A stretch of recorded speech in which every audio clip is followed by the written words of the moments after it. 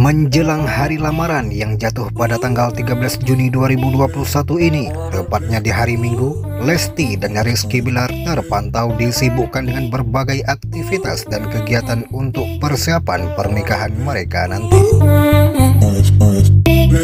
Baru-baru ini, Lesti Kejora dan Rizky Bilar terlihat pulang bareng ke Medan. Hal itu diketahui lewat unggahan Rizky Bilar di Instastory pribadinya. Dalam postingan tersebut, calon suami dari Lesti Kejora itu menuliskan caption, Problematika cowok nih saat wanitanya jatuh tertidur di lengan atau di pangkuan kita. Didemin, lama pegel, dibangunin, gak tega.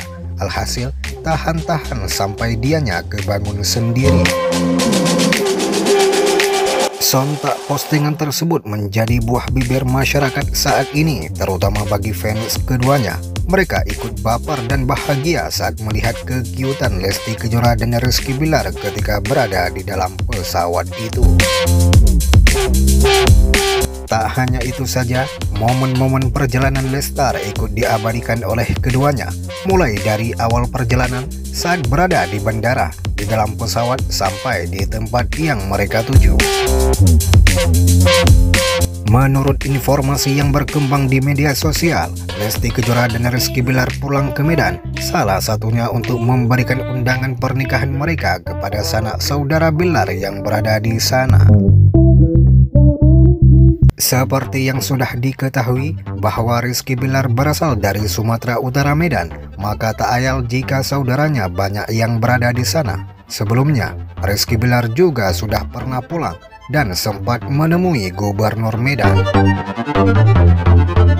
Selain dari itu pula, banyak juga yang mengatakan bahwa pasangan yang akan melangsungkan pernikahan dalam waktu dekat ini akan melakukan syukuran bersama keluarga besar Rizky Belar yang berada di sana.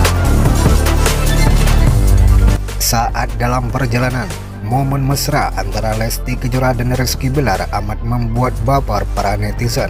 Tak sedikit dari netizen yang mendoakan semoga Lesti Kejora dan Rizky Bilar selamat sampai tujuan. Terus ikuti channel ini agar kalian terupdate informasi terbaru dari Lesti Kejora dan Rizky Bilar.